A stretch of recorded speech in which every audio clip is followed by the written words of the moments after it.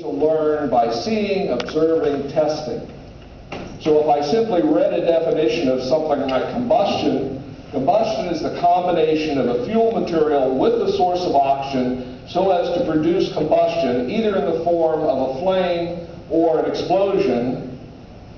Well, you see, if you just heard those words, you're not going to remember many of them and uh, probably are going to be pretty bored. But let's demonstrate it. We have the book hollowed out, a fireproof metal chamber, batteries, stored chemical energy, a momentary switch. When I press that, the current will pass through the glow bar of that uh, igniter. This is the same things that are used in kerosene space heaters for outbuildings and such. Some fireproof fabric, which has been saturated with lighter fluid, and three things necessary for combustion, a fuel, oxygen, and an ignition. In this case, the heat coming off the coil due to resistance.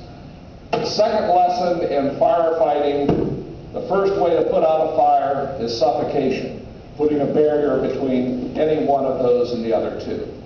Well, uh, whether the justification in the provost's office was uh, showing you better ways to learn or whether it was simply as a recruitment tool, nonetheless, we would appreciate any thank you notes or that to be directed to the provost's office or to the dean of uh, science and mathematics, uh, both of whom will pass the word on to us. But we get the immediate appreciation of your uh, thanks. So uh, with that, we're ready to start. One of our primary lessons will be the difference between chemical and physical change.